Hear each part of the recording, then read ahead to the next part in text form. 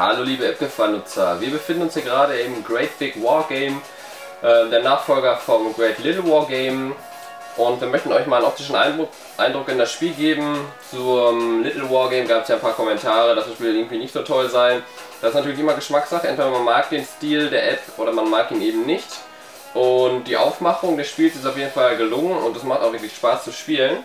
Wir sind hier gerade in der Kampagne drin, drittes oder viertes Level müsste das hier sein und haben jetzt hier auch schon unsere Arbeiter bzw. Ausspäher, ein paar Panzer, jemand mit einer Bazooka und hier hinten ist unsere eigene Base, die wir natürlich beschützen müssen.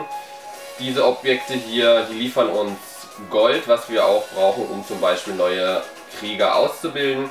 Und in der Kampagne gibt es halt immer Missionen zu erfüllen und wir schauen einfach mal, wie wir jetzt hier rüberkommen. Man sieht schon, wie groß das Level ist.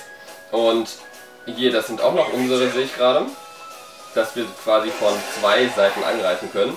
Ähm, wie man sieht, haben die Angreifer hier entweder einen grünen oder einen roten Kreis oder beides zusammen. Das bedeutet, man, wenn man einen grünen Kreis hat, dann kann man sich nur bewegen. Hat man einen grünen und einen roten, kann man sich bewegen und schießen. Und wir fahren jetzt einfach mal hier mit dem Panzer nach vorne und sehen, wir können hier den schon angreifen und schießen den auch mal direkt ab. Der hat direkt 20% abgezogen, allerdings wehren die sich natürlich auch, so dass man halt darauf achten muss, dass am Ende zumindest man selbst überlebt. Wie man sieht, kann man hier auch diese, ja, diese Vorsprünge überwinden. Hier werfen wir doch mal so eine Granate und haben ihn auch komplett eliminiert direkt und fahren auch einfach mal mit unseren Panzern und unseren Soldaten mal hier noch ein Stück nach vorne.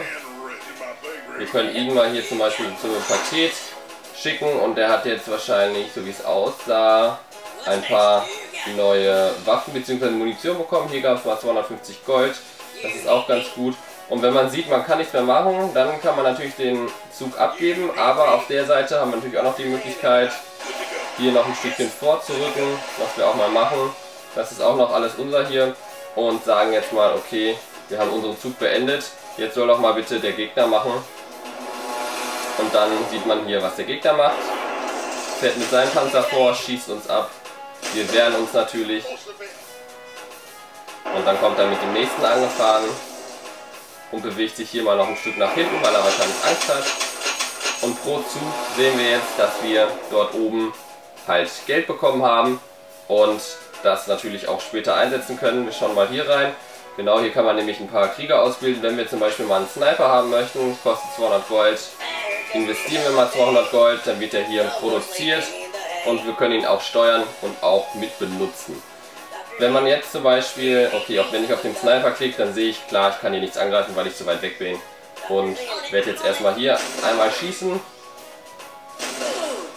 Bekomme natürlich eins zurück, versuche mal hier noch ein Stückchen vorzugehen und hier mal noch eine Granate zu werfen, die recht effektiv ist. Und wie man sieht, hat man einen komplett zerstört und den anderen ein bisschen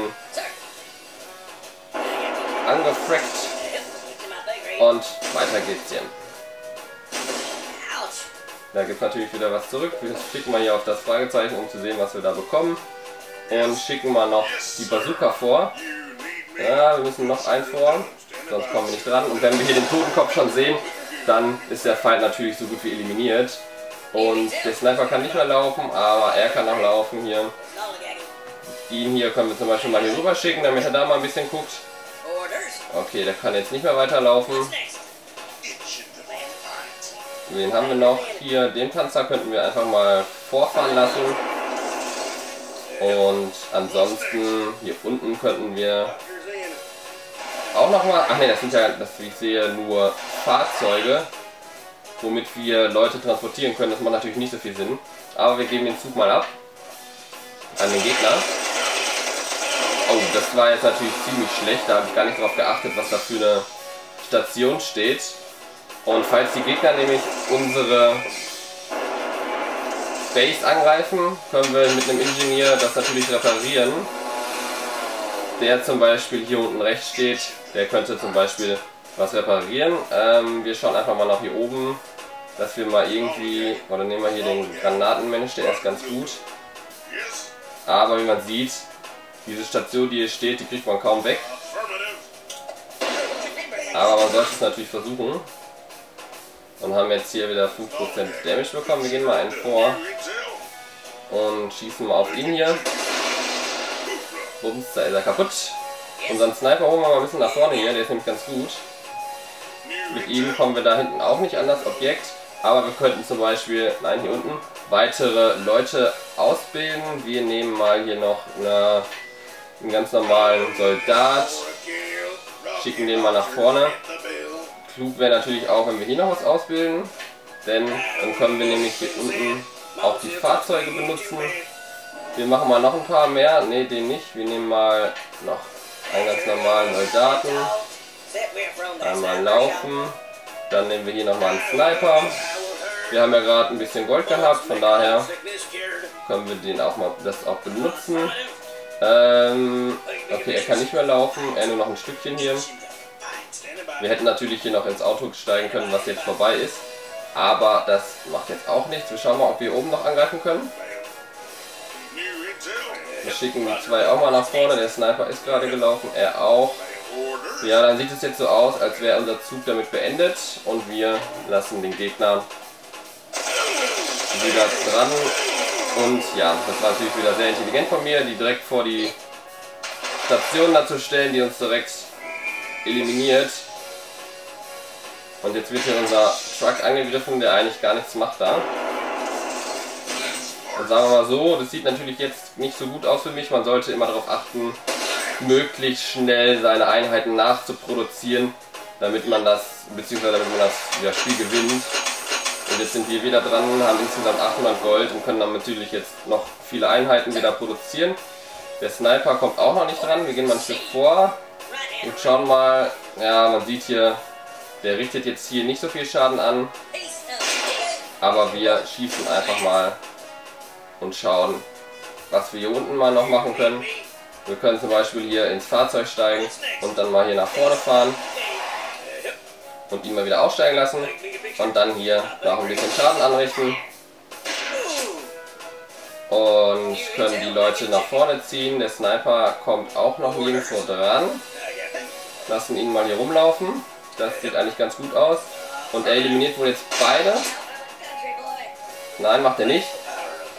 Er eliminiert natürlich immer nur den, den wir auch angeklickt haben. Ähm, ja, wie gesagt, das Spiel kann man so weiterspielen. Ähm, es ist sehr anspruchsvoll und auch langwierig, was auf jeden Fall für den Preis für 2,39 ein guter Aspekt ist. Wir schauen nochmal kurz ins Menü und brechen hier nochmal ab. Ja. Ähm, und gehen mal hier in das Hauptmenü quasi rein. Hier gibt es halt die verschiedenen Play-Modi, Spielmodi. Es gibt hier ein, ja, ein normaler Spielmodus, in dem man gegen einen Computergegner antritt oder Pass and Play. Das bedeutet, man spielt gegen einen Freund der das gleiche Spiel hat und kann sich dann zum Beispiel mit iPhone und iPad connecten. Man kann aber auch online spielen. Ähm, das ist aber ein asynchroner, asynchroner Multiplayer. Das bedeutet, man macht einen Zug, schickt dem Gegner dann die Nachricht, ich habe einen Zug gemacht und dann soll er seinen Zug machen. Und das geht dann halt immer so weiter. Insgesamt auf jeden Fall gut gemacht. Ähm, ich denke mal, über Get More Stuff kann man hier ein paar Items zukaufen, mehr Gold und so weiter. Und wie ich sehe, hier noch ein Map Pack, noch ein Map Pack und auf jeden Fall definitiv ein gut gemachtes Spiel. Man muss das Spielprinzip mögen, aber dann bekommt man mit Great Big War Game auf jeden Fall eine Empfehlung.